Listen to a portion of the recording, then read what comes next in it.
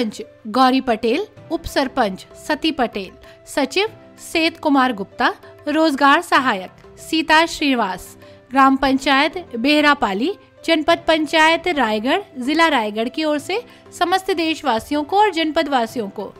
गणतंत्र दिवस की हार्दिक शुभकामनाएँ।